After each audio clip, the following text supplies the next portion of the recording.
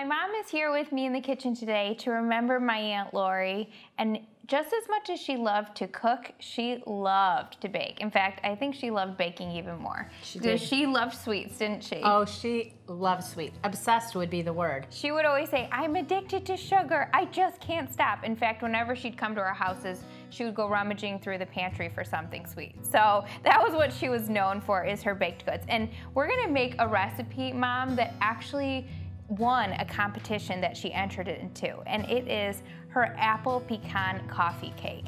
And we're gonna make it in a bundt pan, which I didn't even have a bundt pan before I recreated this recipe in a healthy way, um, but it turned out absolutely beautiful. So she did it right. We're just gonna put a few healthy spins on it.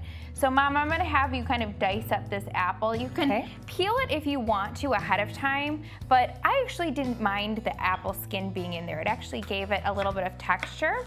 So she did peel her apples in the recipe. I just left the skin on, so whatever you like. And you can just do little bite-sized chunks. Okay. To do the batter for this, I have two cups of oat flour here. And then I'm gonna add one and a half cup of sweetener.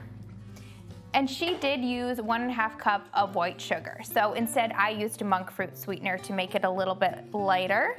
Then we have a half teaspoon of baking powder and a half teaspoon of baking soda, a half teaspoon of salt, one teaspoon of cinnamon, and this was all exactly as her recipe called for.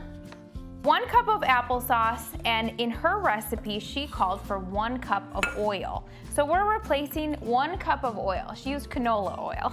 So this is definitely gonna be lighter. And you can't even tell that it's applesauce versus oil. Have you ever baked with applesauce? Your recipes, and I can't tell the difference. Yeah, I mean, I think sometimes people think, oh no, it won't be the same unless I use the butter and the oil and the sugar. But really, there's so many great ways to make alternatives and you really can't tell in the recipe. Then we have one third cup of maple syrup and you can use organic maple syrup. You could even use agave or honey for this recipe.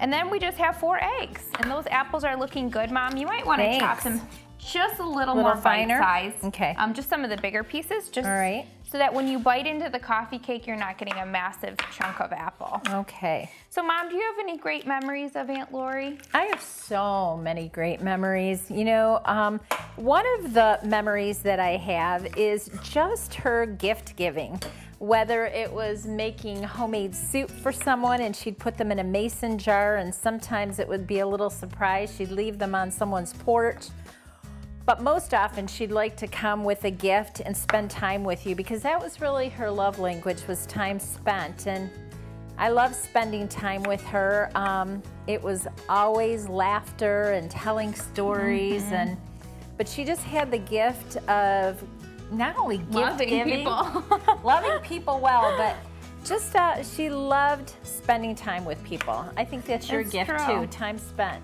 Uh, well, I would say that that even more so, that's you. I mean, when I think about you guys, my mom is my Aunt Lori's younger sister, and I just could see how they were truly best friends because when they were together, I mean, they were just two peas in a pod. So every time I think of Aunt Lori, I also think of you.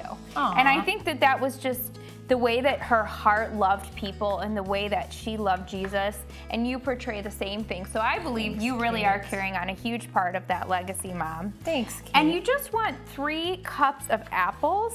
So mom, those are looking great. It Thanks. looks like we have enough there okay. that we can add to this batter now. So once you start mixing the batter, you can kind of add the apples towards the end, just like with chocolate chips in a recipe where you kind of just stir them in. So mom, I'll have you add some of these okay. to the bowl and we can do it together.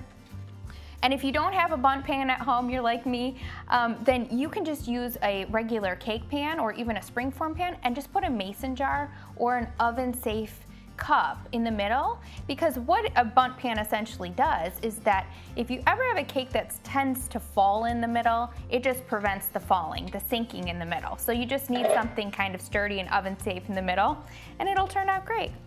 So mom, I'm just gonna fold in these apples and then I'm gonna pop it into the oven at 325 degrees for about 50 minutes or until a toothpick comes out clean. So it does bake for quite a while. and your house, will smell like fall when you put this into the oven. And it just made me smile when I put it into the oven because I just thought of my Aunt Lori and how proud she would have been baking this cake.